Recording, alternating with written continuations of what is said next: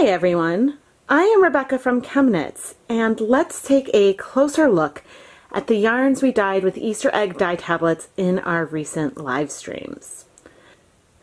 In all of the Easter egg dye tablet videos I have filmed in the last year or two, I have used some of these PAAS Easter egg tablets. The earliest Easter egg dye tablet videos I had on the channel all featured these Easter Unlimited RJ Rabbit tablets. In many videos, you might have heard my confusion as to why I am suddenly needing to add so much more vinegar. I thought that these dye tablets had citric acid after all. Well, let's take a closer look at the ingredients. All of the Easter egg dye tablets contain sodium bicarbonate, but the original Easter egg dye tablets that I used also contains citric acid. And so while that was not enough of an acid source to dye yarn, if I added two to three tablespoons of white vinegar to the pot, the color struck the yarn really, really well. The PAAS Easter egg dye tablets contain sodium bicarbonate, which is basic, but they don't contain any acid. They don't have citric acid in them at all. And this is why I am having to add much more vinegar than I did with the other dye tablets because once these tablets start dissolving in our dye bath, they are raising the pH of the dye bath to a point which, and raising the pH means it makes it less acidic, which means that the food coloring just is unable to bind to the yarn, and especially the blues and yellows. Some of the reds are still able to bind pretty quickly. So ultimately, what does this mean? These Easter egg dye tablets are still a fantastic source of color for using to dye yarn. But when you're going to be using a lot of the tablets, you really want to start with a much, much higher amount of vinegar in the dye pot than you might with, say, Wilton's food coloring or brands of Easter egg dye tablets that contain citric acid. It's funny, I had removed a bunch of these tablets from the kits and I saved them in little glass vials. So initially I was using those and stockpiling um, mostly PAAS brand Easter egg tablets that I found for years. And, you know, it didn't even occur to me to look at the ingredients, especially when I started having trouble and things were behaving differently. So let this be a lesson. If things aren't working the way that you expect, check the ingredients maybe you will figure something out that could be causing the problem.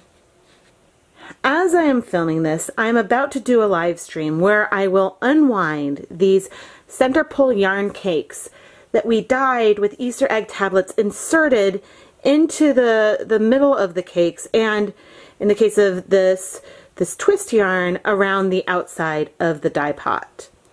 The theme of these recent live streams has been over dyeing.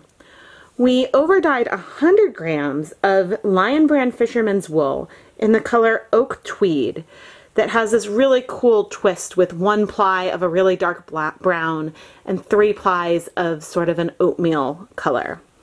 We also overdyed 50 grams of Stroll, Knit Picks Stroll Tweed in the color Down Heather, which was sort of a nice pale gray with these Donegal tweed nubs throughout the yarn.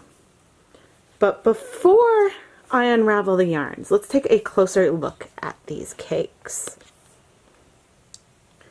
We chose six tablets of the PAAS Easter egg dye for the stroll cake, and we inserted all of the tablets within the interior of this cake, not in the very center or along the outside and we used a total of six tablets, three orange, three red, and three yellow to dye this cake. For the Lion, Lion Brand Fisherman's Wool cake, we used a total of we used a total of 12 Easter egg dye tablets and they were inserted around the center, very close to the outside edge, in the very center, and even in the dye bath around this yarn cake. You can see that we have a lot of really intense color around the outside and the bottom. And I think that maybe the palest colors we will see are what we have here along the top because that had the least amount of access to the water. There was a lot of dye left over from this yarn cake and we used the leftover dye to over dye the yarn that we dyed with Coke Zero. Um, and we got this lovely sort of minty green with some depth changes. The caramel color from the Coke Zero did not really dye the yarn in the first place, so it wasn't as much over dyeing, but using yarn that had been dyed before and dyeing it again. This is the 100 grams of 100% wool of the Andes yarn that we dyed in the leftover food coloring. There are some really, really subtle variations of color that are sort of hard to pick up on camera. So I think that I might potentially reskein this during the live stream as well, but I haven't necessarily decided. The yarn itself is in really good shape after dyeing it with both uh, Coca-Cola and then the Easter egg, residual Easter egg dye. Let's take a look at the gradients we got with these two yarn cakes. On the Stroll Tweed, we sort of started with yellow and orange with a tiny amount of reddish pink flecks. And in the center, we got a lot more yellow and red, and then that decreased again to give us kind of a more yellowy finish. As far as a gradient goes, this is really subtle and it's something that would probably be a bit more apparent once you knit it up into whatever you wanted to turn it into. But I think that the colors are all a lot of fun. When it comes to our Fisherman's Wool twist, again, our gradient overall is pretty subtle, but we have start with some darker purples and greens go through and have some teeny, teeny red flecks, and then finishing with more of a green teal edge. These yarns are beautiful, and we really, really learned a lot about our Easter egg dye tablets in these live streams. And I look forward to pumping up the acid volume even more at the beginning and doing some more exploration of the pH as we're doing our dyeing experiments it would be nice to start paying a little closer attention to the amount of acid and how it is affecting the way that we are dyeing our yarns. So I looked it up and when it comes to yarns, Donegal tweed are some synthetic, I guess, pieces of fiber that are put in to look and sort of mimic the feel of Donegal tweed fabric. In which case, I think in that fabric, everything that you see is probably wool. Either way, clearly these are synthetic because they did not take up any dye. I like the look of the tweed nubs more on these orange tones than on the bluer tones. I think that some more of the heathered quality from the original yarn sort of comes through a bit better on these paler colors than it does on the brights. The Fisherman's Wool Twist yarn that we did is really, really fun. With sort of brighter colors, the twist is really vibrant and really, really sort of stands out. But if we're doing deeper colors, the twist is still there and gives the yarn some really, really nice dimension, but overall the twist itself is a little more subtle.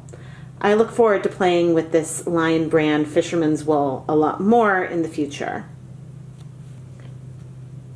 If we take an overall look at the colors, the yarns that we space dyed with the Easter egg tablets have more distinct color changes and appear brighter than the two that we used in the cake dyeing.